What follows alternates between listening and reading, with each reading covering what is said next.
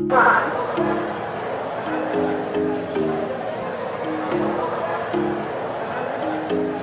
कृपया ध्यान दें बालाघाट से होकर जाने वाली गाड़ी नंबर एक दो छः दो पाँच तिरुवनंतपुरम न्यू दिल्ली केरला उपपा एक्सप्रेस प्लेटफॉर्म नंबर एक पर आ रही है Your attention please. Train number one two six two five Tiruvananthapuram. New Delhi Kerala Superfast Express via Kochi, Palakkad is arriving on platform.